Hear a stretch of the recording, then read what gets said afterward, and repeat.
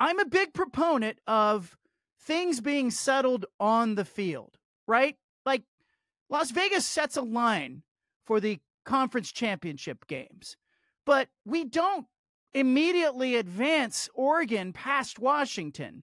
We don't immediately advance uh, Georgia past Alabama just because they were favorites in those conference championship games. No, we allow it to be settled on the field.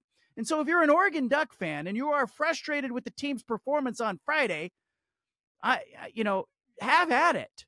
Oregon looked flat in the biggest game of its season. The first quarter was a nothing burger for the Ducks. I was incredibly disappointed at Oregon's inability to run the football. I was disappointed at Oregon's inability to stop Washington running the football. That surprised me. That was not something that I expected. I thought Oregon was the better team playing better football, and they showed up in Las Vegas and laid an egg early in the game. That said, their season's not over. They move on to a important bowl game and an opportunity to do what few teams in Oregon football history have done. Uh, you know, post 12 wins in a season. Dan Lanning and the Ducks have some unfinished business, and it's not lost on me that the loser of the Pac 12 championship game is 0 11 all time in its subsequent bowl game. This does not bode well for the Ducks. Now, typically, you see these teams they uh, they struggle with leadership, defections of players who are going into the portal or declaring for the NFL draft, or just the overall disappointment of being that close to a conference championship and now you have to readjust your expectations. And believe me, Oregon's got to readjust its expectations because Oregon drew in the Fiesta Bowl not Oklahoma, not Missouri, not Penn State, not another highly ranked team. It drew number 23, Liberty. What was it? Give me liberty or give me death? No, it's give me liberty in the Fiesta Bowl for the Oregon Ducks.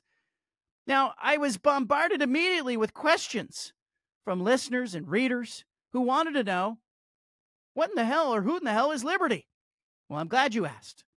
Liberty has an enrollment of about 16,000 students. It was founded in the uh, early 1970s by Jerry Falwell. It's got a complex recent history. You can Google it. I'm not getting into that because I want to keep this about sports mostly. But Liberty's enrollment of 16,000 is supplemented by about 115,000 virtual students nationally. These are homeschooled kids who have gone on to college in some cases. And the homeschooled kids from Liberty will be playing in the Fiesta Bowl against the Oregon Ducks in a game that is easily, without question, the biggest challenge of Liberty's history in college football. This is a program that elevated to major college football just a couple of seasons ago, is playing in the Conference USA, and plays teams like Western Kentucky and New Mexico State. This is not the Pac 12. This is not Power 5 conference football. And in fact, Liberty did not play a single Power 5 opponent this college football season. And according to all of the indexes and the strength of schedule, Liberty had the worst strength of schedule of any program in the country. They didn't play anybody. And now they're getting the Ducks. Now, I saw Oregon put 81 points on Portland State earlier in the season. I think there's a real chance that we see a bowl game record if Oregon shows up to play. Now, I know Duck fans are not excited about seeing Oregon play Liberty because they wanted to see Oregon play Georgia or Alabama or Florida State, or they wanted them to be mixed up in the college football playoff mess. And it would have been a mess. The way Oregon was playing on Friday, I'm here to tell you there was no guarantee that the Ducks were going to end up in the college football playoff, even if they beat Washington. Look at what happened, particularly the way that Oregon played in the first quarter. I said it last week Oregon needed to leave no doubt. Bo Nix needed to go out and win the Heisman Trophy on Friday.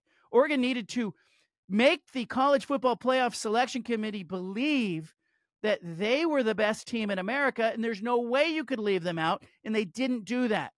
So, you know, actions, consequences. I was taught that as a kid. University of Oregon's getting a bowl game. They're getting to go to Phoenix and Tempe and go play in the in the Fiesta Bowl, and they're getting an opponent that they should clobber. I know that isn't the same as making the playoff and mixing it up with the likes of Alabama and Michigan and whoever else the committee decides on a whim is getting into the playoff these days. But if you're a Duck fan, I think you have to look at the trajectory of the program and Dan Lanning. This is not uh, on the job training. I don't want you to mistake it for that.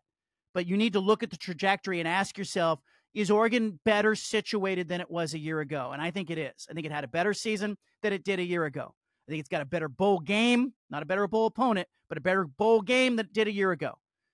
The fact that the Ducks went from Holiday Bowl in Dan Lanning's first season and 10 wins to flirting with the college football playoff and playing in a conference championship game in year two is promising. He's got to get better. His team needed to be prepared better. The Ducks need to play better.